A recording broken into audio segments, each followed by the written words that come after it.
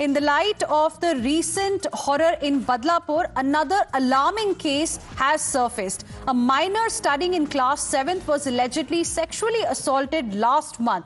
FIR has now been registered under multiple sections of the POCSO Act. So there is another case of uh, an assault emerging from the state of Maharashtra. This even as uh, people are seeking justice uh, uh, in the case in Kolkata. Then the case of two minors emerged from Badlapur. Shweta is now joining us live for more on this. Shweta, give us more details. This time we're talking about a seventh standard girl.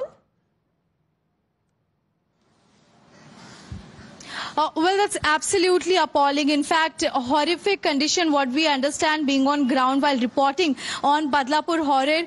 We got in touch with few other people, those who have reported another unfortunate incident from Badlapur itself, uh, where class 7 student was allegedly raped by a stranger. As we go through the important details which have been laid down in the FIR copy. Now, a first information report contents clearly mentions uh, about the relevant sections of POCSO Act uh, in which uh, the FIR uh, has been put up. But apart from this, the details are really chilling that when the parents of the child were not at home, they were out for some work, this unknown stranger had barged into the house and the child is unable to even recognize the man fully. Uh, she is not in a condition even to describe him fully what exactly happened. It was later after a month when the uh, child was taken to a hospital after complaints of several times of vomiting and stomach ache. The, it was confirmed by the doctor that she is pregnant.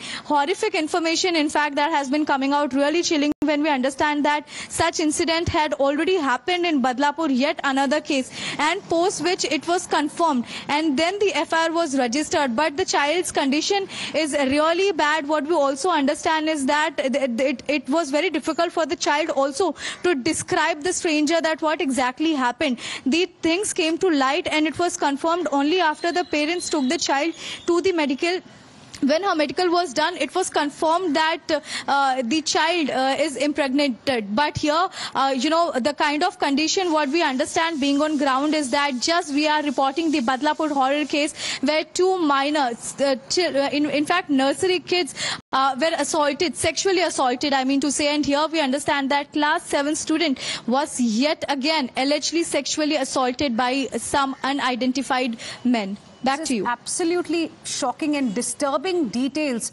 Uh, Shweta has uh, brought for our viewers. We'll, of course, be tracking this story closely ahead as well.